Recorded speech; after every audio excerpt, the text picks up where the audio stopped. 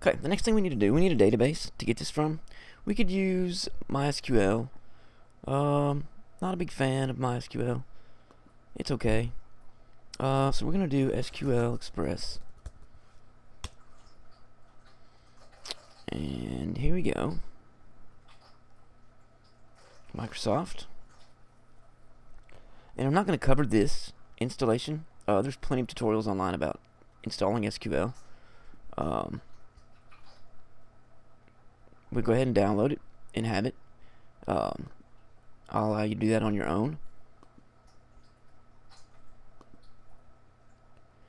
And we're going to access it. Going to SSMS. Let's go ahead and get that installed and then come back. Now you probably want to do a default instance and you probably want to use mixed mode. Um, so we're going to connect up here.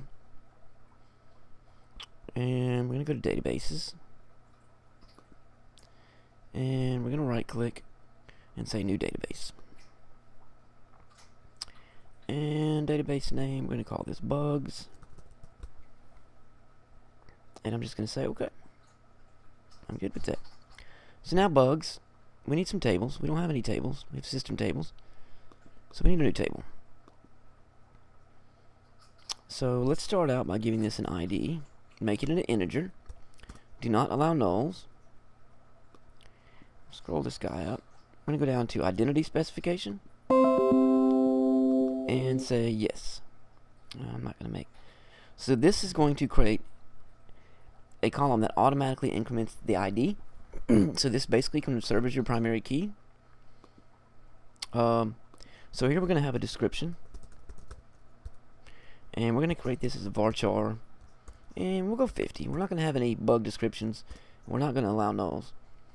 And we're going to set this and this both as primary keys. So we don't want to have anything with the same ID and the same description.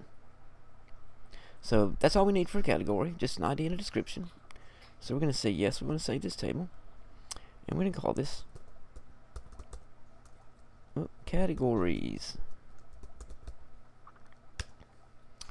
And if we go and right click and refresh our tables, we will have categories. Okay.